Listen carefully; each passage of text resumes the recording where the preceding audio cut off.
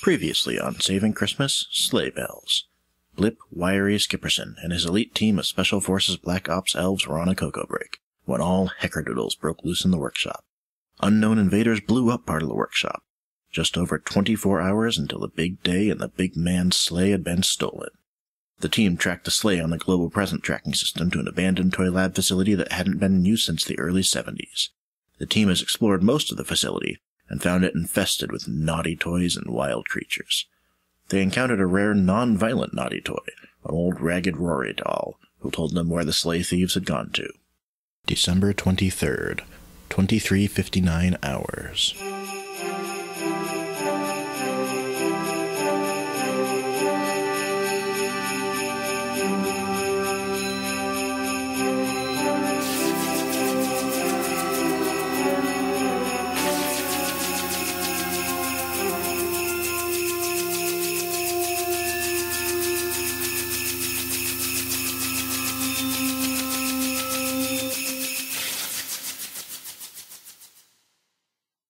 Rory was right.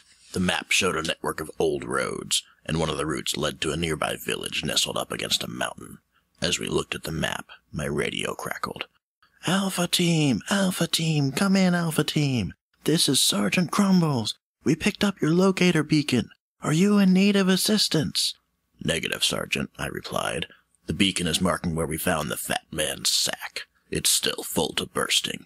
Whatever these naughties want, it isn't the presents. Affirmative. We'll send a recovery team for the sack. Any luck on the sleigh? We have a lead. What we don't have is a ride. The snowstorm looks like it's getting worse. Can the helicopter get through it? Negative. We'll send Beta Team to you. They're on recon snowmobiles. You should be able to double up and get to your target. We'll hold the fort until then. Alpha Team out. I turned to Cammy and said, Cambo, blow open the lock on the front doors. We need a door big enough to drag the big man's sack through. Yes, sir, she said as she spun around and marched back to the entry room. We all plugged our ears, and with a quick fire in the hole from her and an earth shattering kaboom, the front door blew open. It didn't take long before we heard the whine of snowmobiles in the distance. All right, everybody, let's go grab Santa's sack and drag it up here. We're on a time budget here, and I want everything gift wrapped for Beta Team when they get here. It didn't take long for Beta Team to show up. As a unit, they skidded to a halt in front of the door. The team leader took off her snow goggles. Beta team reporting in. Wiry, you look like you've been through heckerdoodles. You have no idea, Hawkeye, I said. Jenna Hawkeye Blippy was the leader of Beta Team.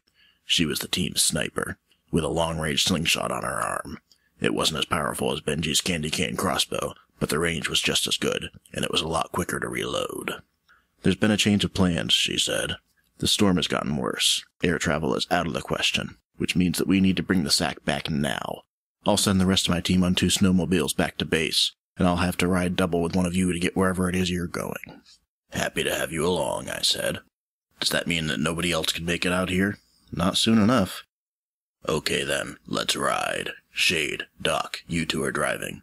Longshot, Cambo, you two are riding shotgun. The rest of Beta Team dragged the sack between two of the vehicles and started lashing it on. Everybody grab your cinnamon buns, we're rolling out. I hopped on one of the snowmobiles and Jenna settled in behind me. I'm riding shotgun with you, Wiry. You're a lousy shot on a good day. Can't imagine you're much better when you're driving. She might be able to hide in the snow just as well as Shade and Longshot can, but that girl is no good at hiding her feelings. She's crazy about me. I revved the engine and saw the Longshot was settling in behind Shade, and Cambo had a fresh candy cane resting on her lip, and a fresh rock salt clip in her marshmallow gun. No time to stop and hang ornaments, folks. Let's ride. I revved the engine and left a stream of flying snow in my wake. Santa's shorts, yelled Hawkeye. Give a girl a little warning next time. The visibility was getting worse, and the storm was starting to interfere with the global present tracking system in the snowmobiles.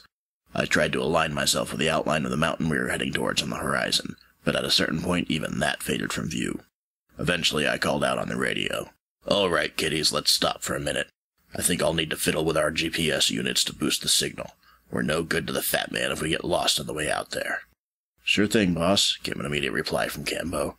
I slowed down when I saw a convenient ridge to park next to, the best shelter from the snow that I could see. I motioned for the other two drivers to pull up and form a semicircle backed up against the ridge. Shooters, keep a lookout.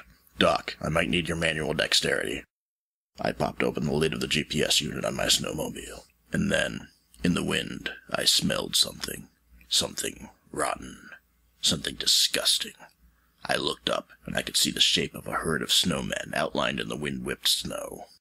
Whatever I smelled wasn't snowmen. Snowmen are made of nothing but fresh snow. They're peaceful and harmless. These snowmen were hunched and deformed, and I could smell them from here. Kringle, salty nuts, I yelled. Cover your faces, they're yellow snowmen.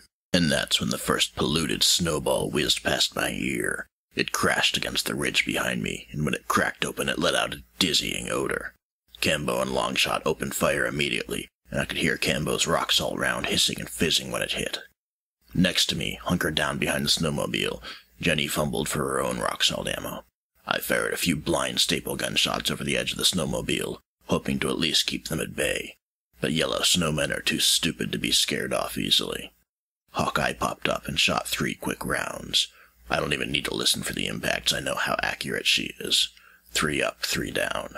Longshot and Cambo are still firing too, and I risk a peek over the edge. A wet, nasty yellow snowball splashed off the edge of the snowmobile, but through the haze and the snow, I could see that we were outnumbered. Badly outnumbered.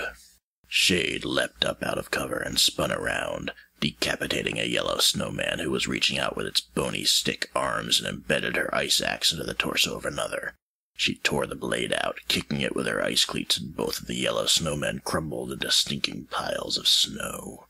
Two more of them crowded towards her, and I pumped one full of staples. Chunks of ice and yellow snow sloughed off one of them, and it fell. And then, without warning, a pair of antlers burst through the other. With a shake of its head, the reindeer that I hadn't seen through the snow until now tore the yellow snowman apart.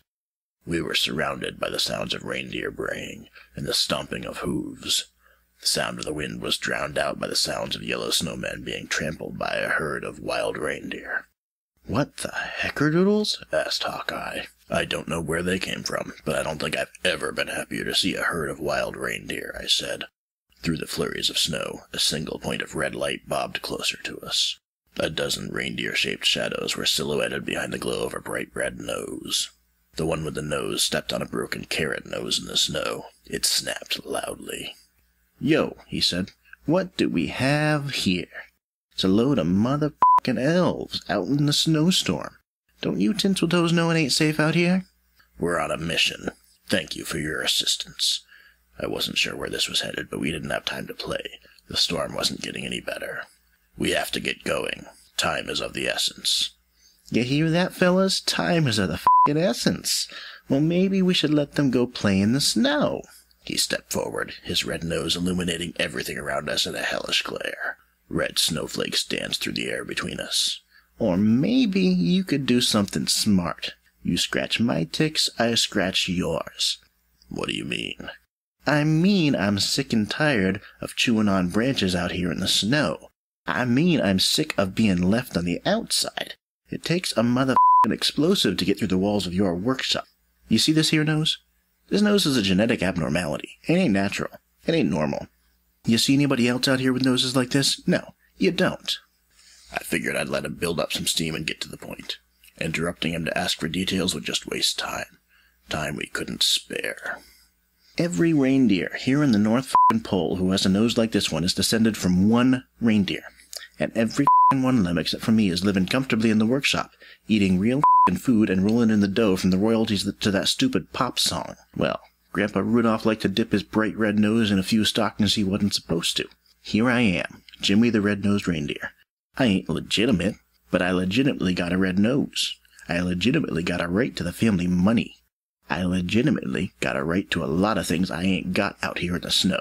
So, I guide you to your destination, and you tell the fat man that I'm out here, and I deserve more than what I got. He's the only one who can force my fat family to share their wealth. You live through this? You help me out?